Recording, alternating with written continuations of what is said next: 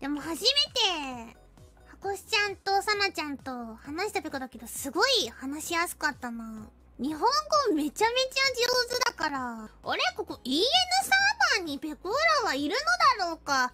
はたまた何なのだろうかって思ってしまったペコだよね。ここは、一体、EN?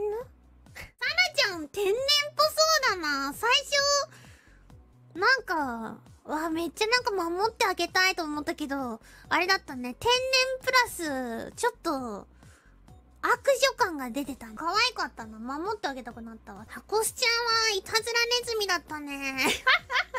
久しぶりにペコーラマイクラであれやられたわ。落とされるやつ。いつもペコーラがやってたから。なんかすごい新鮮で楽しかったな。まさかすぎたペコだよ。めっちゃ楽しかった。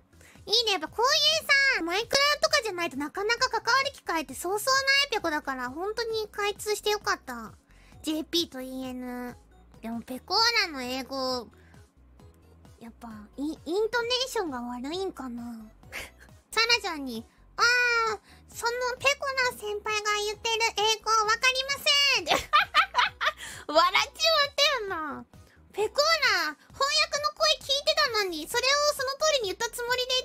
発音ってやっぱ難しいんだなって思った。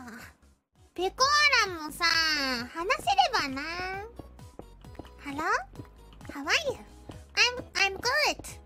Oh, Pekona senpai is very very English well. Oh, thank you. Oh, um, Japanese well. Oh, oh, oh, thank you, thank you. Hakosu is sorrowful. Sorrowful. えっと、英語を話してみたけど、いくら様の英語わからない。ふざけんじゃ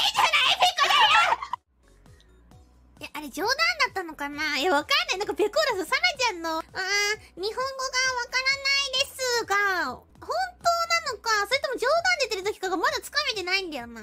発酵しちゃん可愛かったな、最初。寂しがってたから。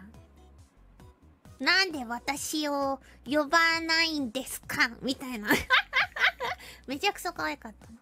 いいコンビになりそう、二人。真逆で。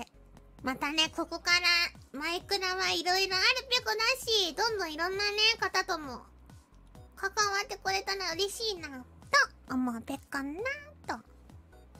ドゥルルンドゥンドゥルルンドゥンドゥルルンドゥンドゥルルンドゥルルンドゥンドゥルルンドゥンいた